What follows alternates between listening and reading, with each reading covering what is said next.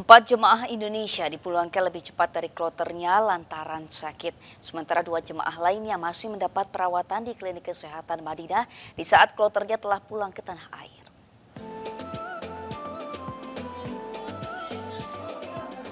Dua minggu jelang kepulangan kloter terakhir, hilir mudik pasien di klinik kesehatan Madinah masih berlangsung.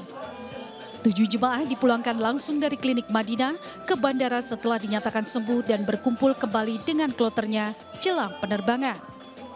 Dengan pertimbangan kondisi kesehatan, empat jemaah yang sebelumnya dirawat intensif di klinik kesehatan Madinah kini telah pulang lebih cepat dari kloter mereka.